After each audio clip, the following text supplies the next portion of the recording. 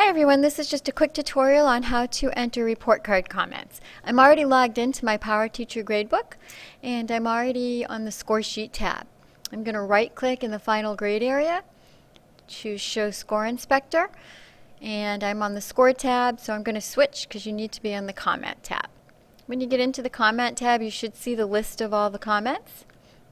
You could scroll through to try to find your comment, but an easier way is to click in the find box. And it'll be real handy to have your uh, report card comments next to you. So you type in the number of the comment. I'm going to type in 41. That's the first comment I want to put in. And it quickly takes me to comment 41. I'm going to select it and choose Insert Selected. I'm going to type in my next comment number. And again, it quickly takes me there and I'm going to select it and then choose insert selected. So you can do that for um, all two or three of the comments that you're going to add. You don't have to add any spaces or commas at the end.